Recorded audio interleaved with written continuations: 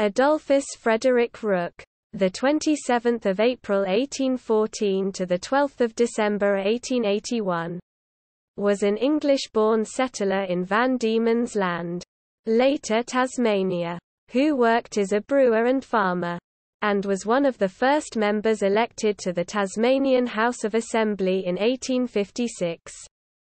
Rooke was born in Hartford, Cheshire in England and emigrated to the colony of Van Diemen's Land around 1836.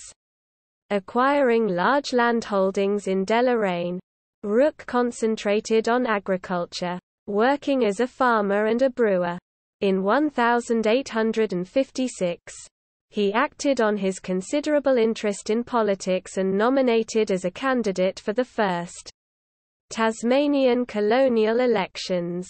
He was elected unopposed as the member for Deloraine, which he held until his retirement in November 1862. In June 1868, he won the seat again but resigned after several months in January 1869. He took a third and final tilt at politics in 1871 holding the seat of East Devon from September 1871 to September 1872. After leaving politics, Rooke was active in a proposal to construct a railway from Launceston to Deloraine, and was appointed as a director of the project. He was also added to the magisterial roll of the colony in 1869.